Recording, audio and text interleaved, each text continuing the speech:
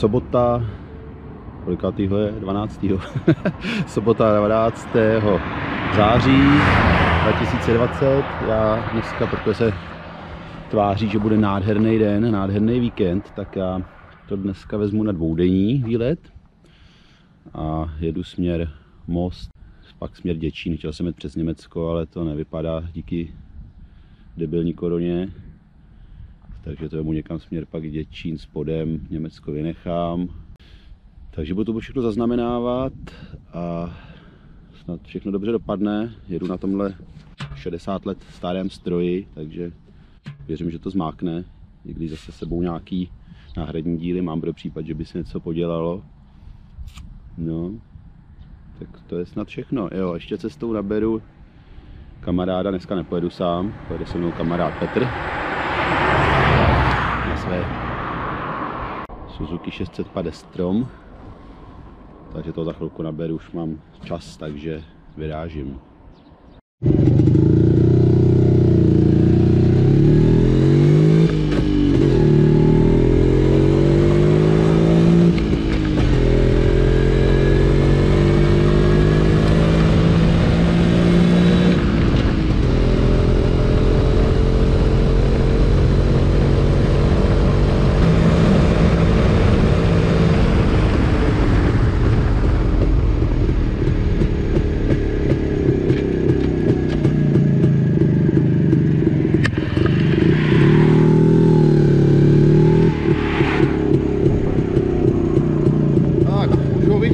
Právě přijíždí.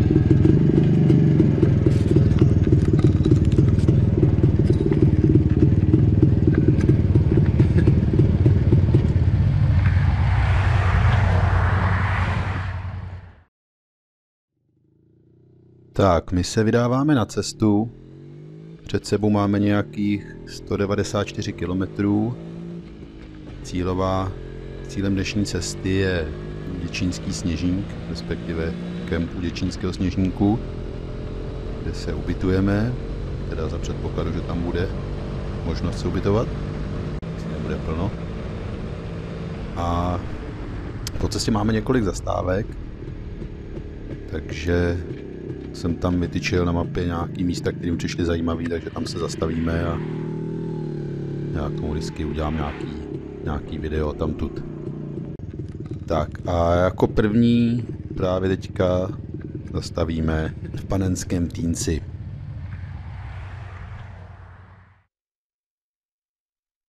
Tady už se koukáme na zámek Panenský Týnec.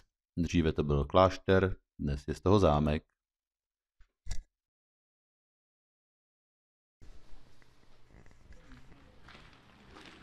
Tak, to už je nedostavený chrám, o kterém se docela dost píše. Mělo by tady být spousta pozitivní energie, dokonce se zde kříží nějaké dvě zóny, takže o to je to tady násobené.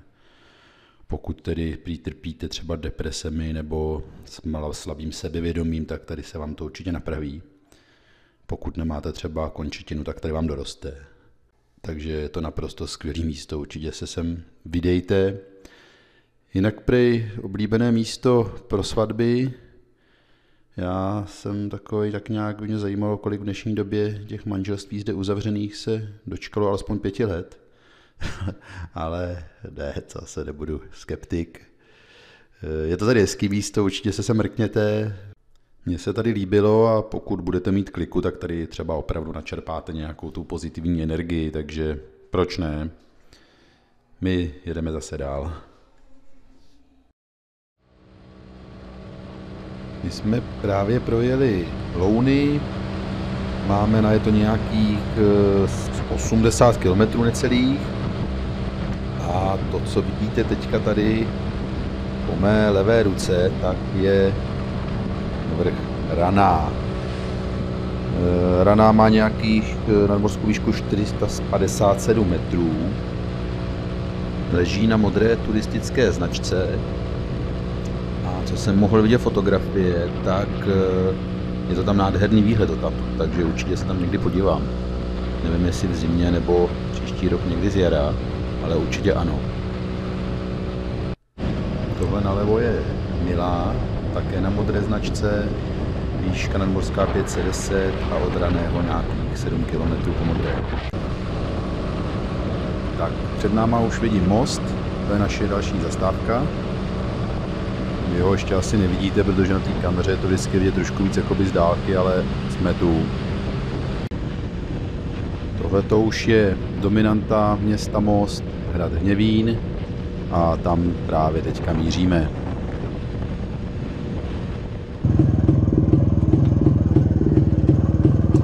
Takže je to sem docela slušný stoupání. Motorka se krásně zahřála do toho kopce a já vlastně ze strachu nad sedlem taky, takže, ale jsme tady, tak OK.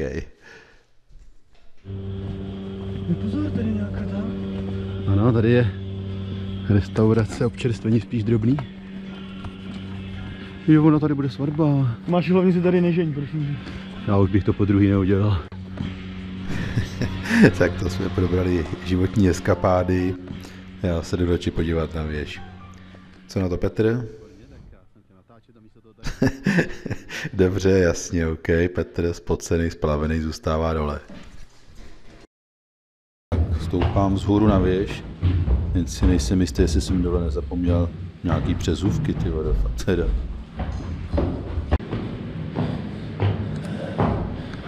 Tak, takhle už to vypadá nahoře.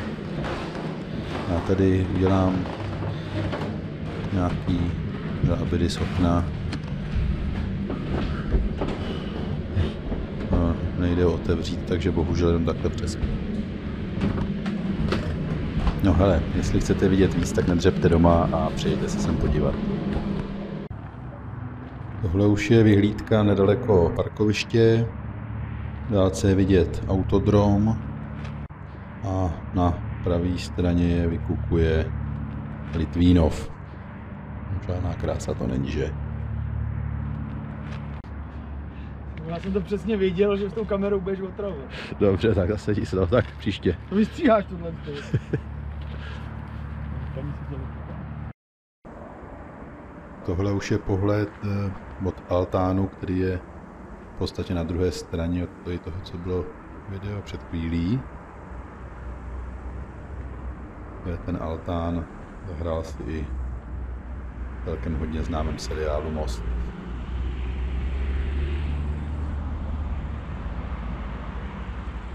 Tadyhle už je vlastně pohled na parkoviště. Takže opouštíme Hněvín. Pítr, řekneš k tomu už proč něco? Bylo to tady úžasný, no. Tomáši, děkuju, že si mě to vzal. Je to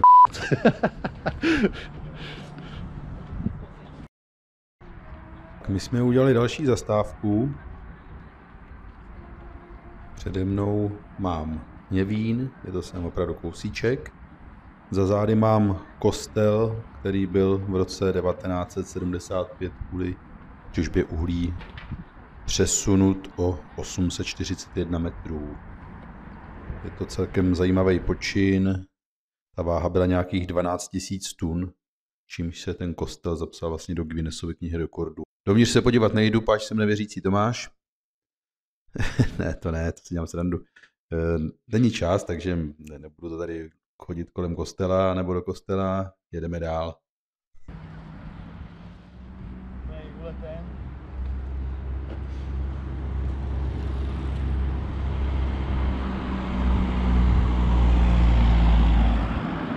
Tak, tady jsou motorky a propocený Petr.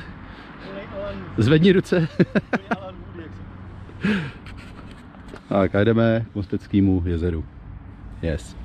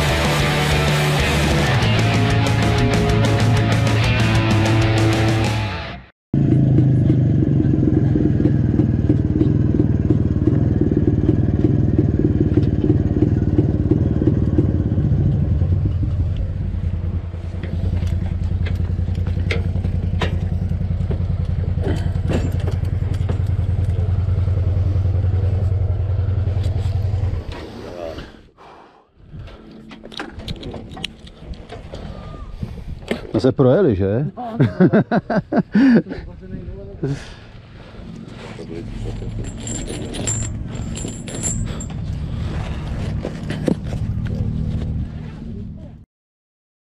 Jezero Most, zrekultivovaná oblast. Eh, tohle je konkrétně uhelný důl. Jinak eh, co dodat? Žádná krása to tady úplně není, ale je to lepší, než kdyby tady byla ta díra do země.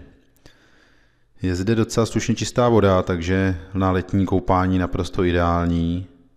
Akorát eh, zapomeňte, je zakázán rybolov a provoz jakýchkoliv motorových plavidel, včetně elektrických. Eh, navíc, eh, kdybyste si přitahli za autem koně, tak se zde nesmí plavit ani koně, takže na to, na to se sakra velký pozor. No, jinak samozřejmě, co tady budete dělat, záleží na vás, nesmíte se nechat chytit. Ze zajímavostí, co bych řekl, hloubka jezera 71 metrů, rozlohou je jezero větší než Máchovo jezero, eh, rekultivace trvala 12 let a vyšla nás na krásných 2,5 miliardy korun. No, tak to je tak nějak všechno, co si pamatuju. Přidejte se, podívejte si, pojedete kolem, ale jakoby za mě to není zase žádná úplná nádhera, spíš užitečný místo než krásný. Tak, eh, my opouštíme jezero Most a jedeme směr zámek Jiřetín.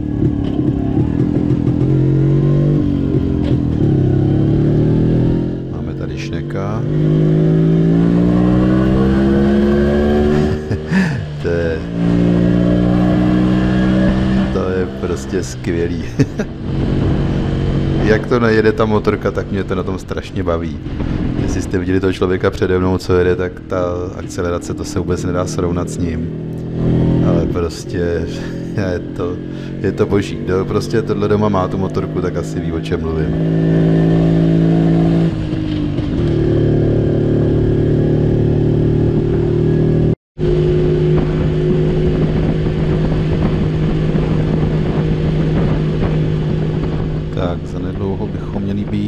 Horním Jiřetíně. Takže tam jsme se rozhodli, že si uděláme zastávku na oběd, protože je čas oběda a máme oba tak trochu hlad.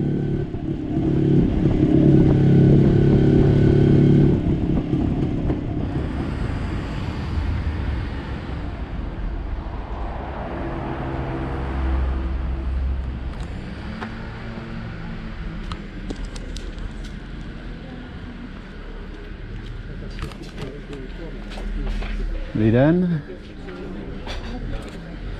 Mohu si přesunout, pane? Jo, přesunuj si. Děkuji. Tady máš lepočnost.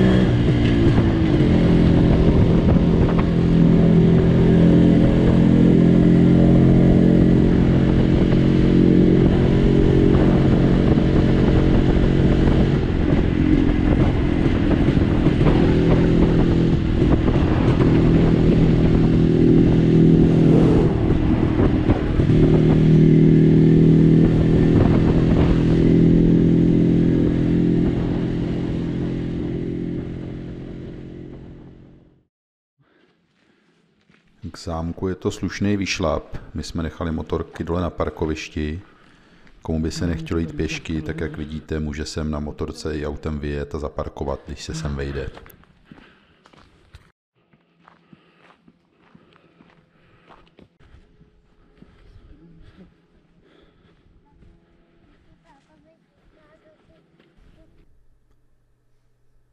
Zámek Jezeří jak vidíte, není zámek v nejlepší kondici, ale naštěstí zde probíhá nějaká rekonstrukce, takže záchrana se asi blíží. Ono je to dáno tím, ten zubožený stav, že e, vlastně zámek byl určený k demolici. Ono, tady se těží všude uhlí a i pod zámkem je nějaké úložiště uhlí, takže opravdu ofous unikl demolici. Jinak e, za zmínku ještě stojí, že na zámku se natáčel seriál Pustina. Je to hodně, hodně dobrý seriál, kdo jste neviděli, určitě se podívejte. My se loučíme se zámkem Jizeří pohledem na zdevastovanou krajinu a jedeme zase kus dál.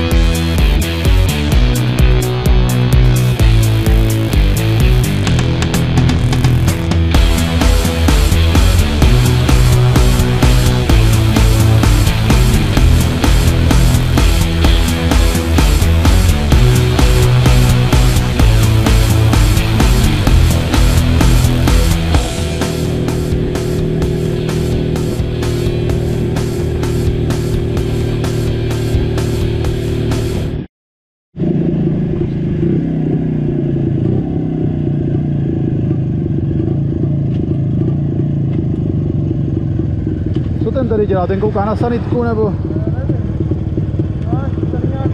No tam byla ta restauračka, víš, ten pivovar, že bychom se najedli, ale to už jsme, tak je to jedno.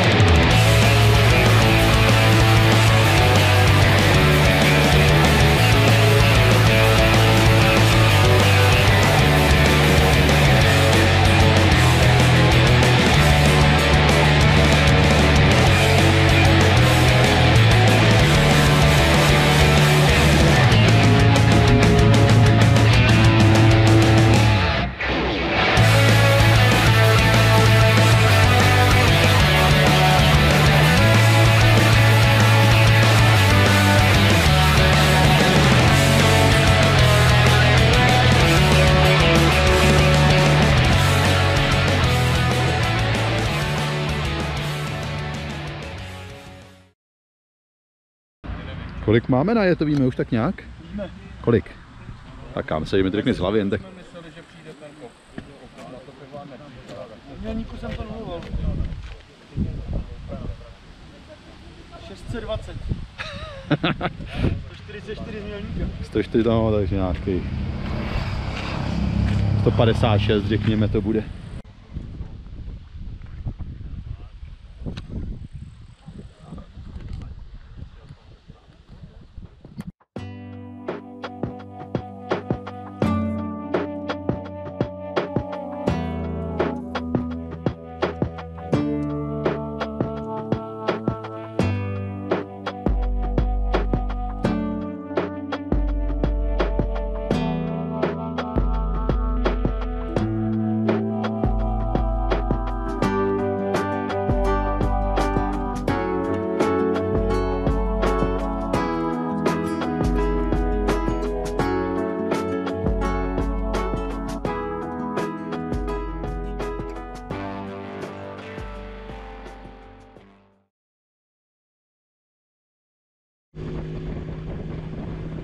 Jsme opustili vodní nádrž Fláje a rozhodně doporučuji za návštěvu, je to hezký a zajímavý místo. Sám se sem ještě tak jednou zajdu podívat a trošku v klidu si to tady projedu a prohlídnu. E, velkou zajímavostí takovou je to, že ta hra celá betonová je vevnitř dutá, což eh, je vlastně jediná u nás v republice takto postavená kvůli úsporám cementu nebo respektive betonu. Takže za mě určitě ano a my se teďka přesuneme už eh, ke kempu, protože už toho máme taky trošku dost dneska.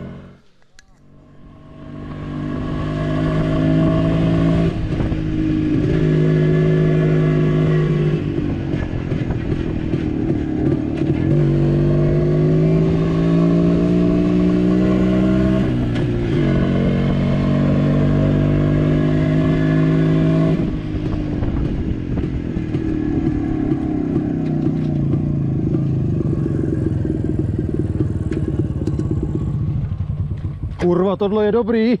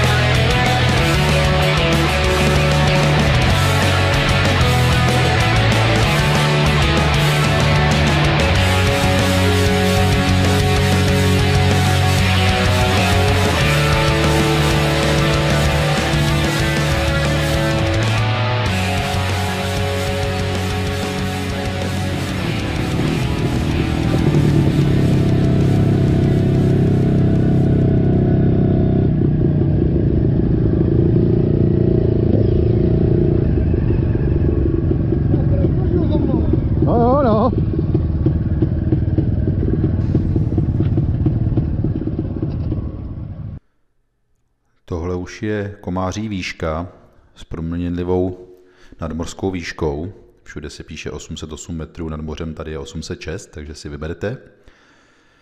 Jinak eh, my máme za sebou nějakých 180 km, takže dáme tady odpočinout sedacímu aparátu, něco pojíme a popijeme a pojedeme do cílovky, tedy do kempu.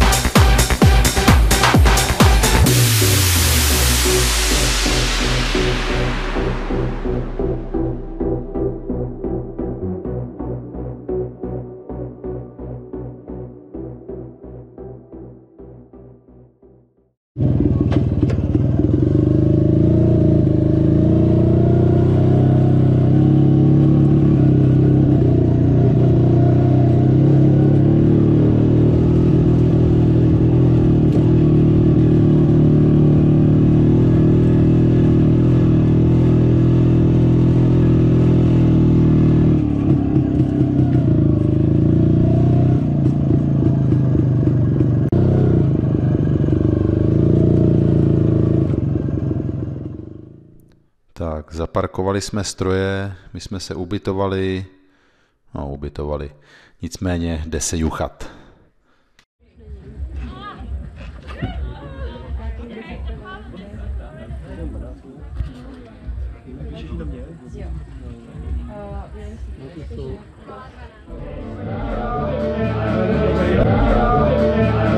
Takže sedím v hospodě se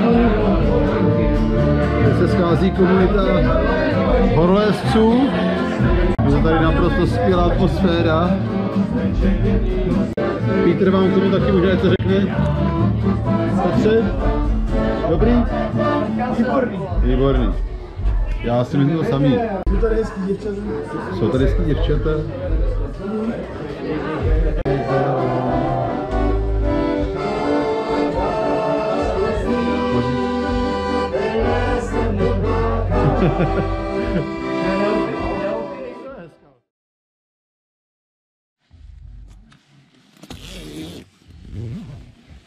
Takže výborný, jo. Nějak se mi rozešel zip. Nedá se to zapnout, ten spacák. To snad není pravda, týve. Naštěstí není 15 pod ani, Ale ani 5 pod nulou, takže se dneska vyspím s rozepatým spacákem a já to nějak pořeším.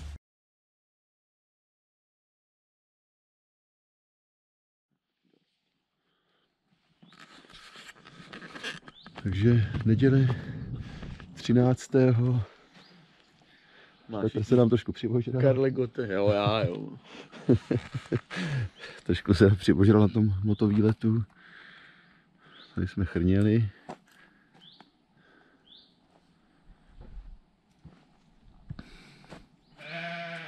No a, Nenatáčí. a takhle to tu bylo.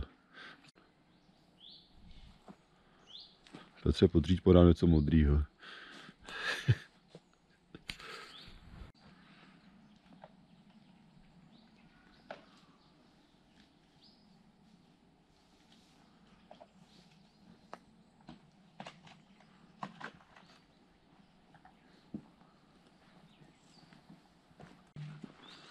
Takhle opuštěně vypadá kemp po ránu. Jediné, co je vidět, tak je všude spousta lahví a místy opilých tváří.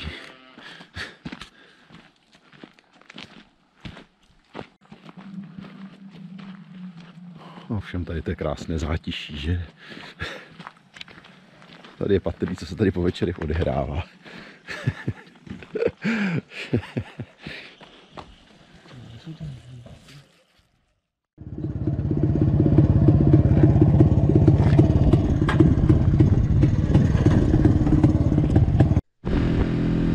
My už opouštíme kemp, který není mezi ostatníma ničím zvláštně ani výjimečný, ale, ale má to tady svoje ale. Schází se tu e, skvělá komunita lidí, horolezci jsou prostě dobrá banda, takže to bylo super, tady ta atmosféra a navíc e, ty holky, které se tu o nás starali, tak byly taky naprosto skvělé, takže za to rozhodně díky a třeba zase někdy ahoj. A tenhle úžasný pohled už je z pastýřské stěny vedle děčínské zoo. Takže tohle rozhodně, rozhodně stojí za návštěvu, jestli pojedete někde okolo. A jinak dokonce sem vede i ferata ze spoda, takže pokud by se vám nechtělo sem přijet či přijít, tak se můžete i vylézt. Nádherný místo, to rozhodně doporučuji. Co?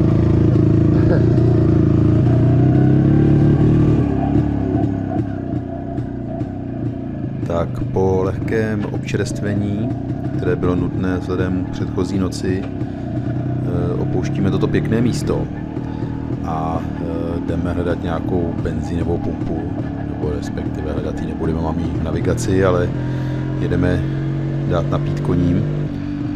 A potom jedeme na rozhlednu Sokolí vrch, která byla krásně vidět tady z této vyhlídky a není osud zase tak úplně daleko, nějakých, já nevím, plásnu 7-8 kilometrů, takže tam se zademe podívat.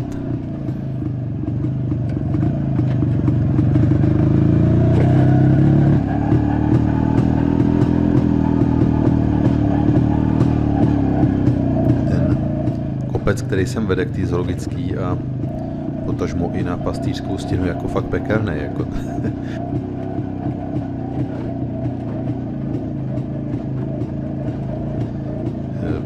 Váze, kterou mám já, motorka a ještě to, co mám za zády, tak a účinku těch brzd, tak tady na těch na té dlažbě jako to přes ní se moc brzdit nedá a když si nechcete nabít hubu a ten zadek nebrzdí, takže jako, tohle je opravdu jako masakr na tuhle motorku, tenhle kopec.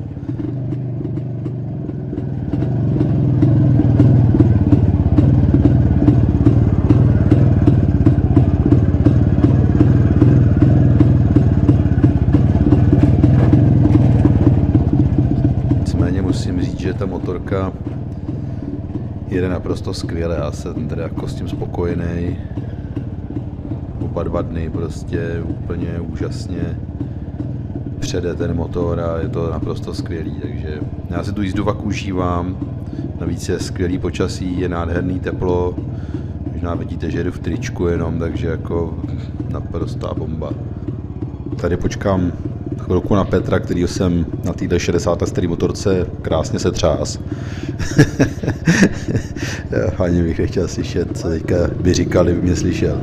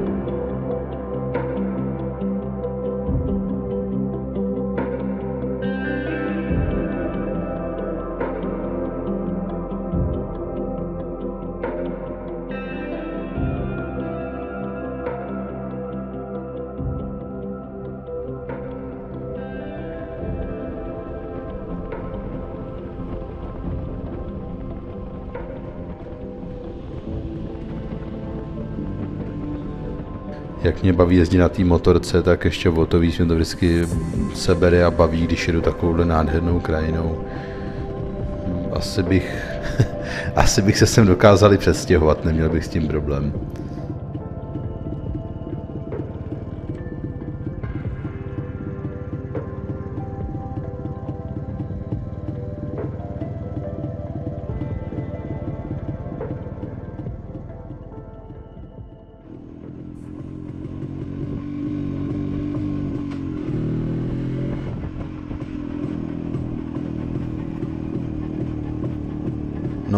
Se mi vždycky nechce opustit eh, takovýhle krásné místa, tak prostě nakonec člověk vždycky musí, přece jenom je neděle, taky chodím na práce, takže nabíráme směr k domovu, ještě si po cestě zkusíme najít nějakou restauraci, kde se najíme.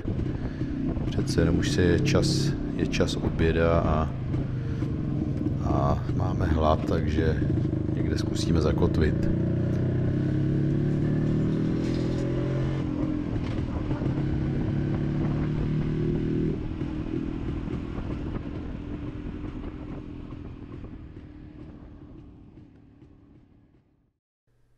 Jsme na náměstí v Benešově nad Ploučnicí.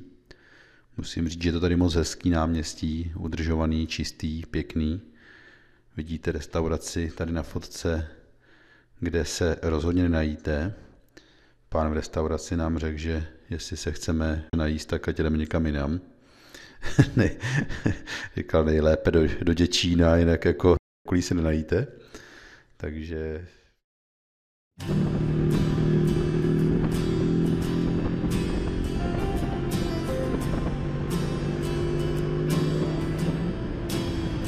tak do Děčína jsme rozhodně nejeli zpátky.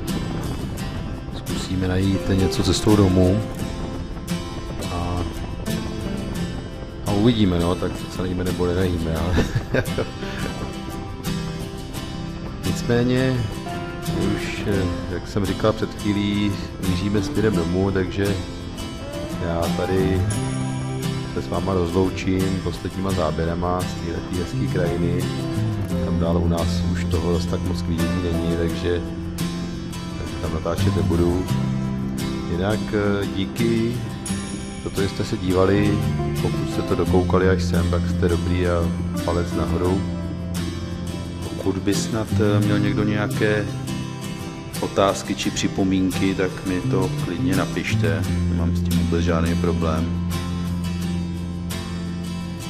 Díky za zhlednutí, Díky za odběry, díky za palec nahoru a čau.